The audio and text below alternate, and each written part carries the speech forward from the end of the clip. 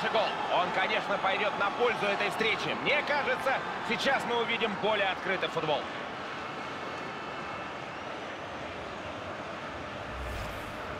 Повтор забитого мяча, и на нем еще раз отлично видно, что у вратаря не было ни единого шанса в этом эпизоде. С очень близкого расстояния бил.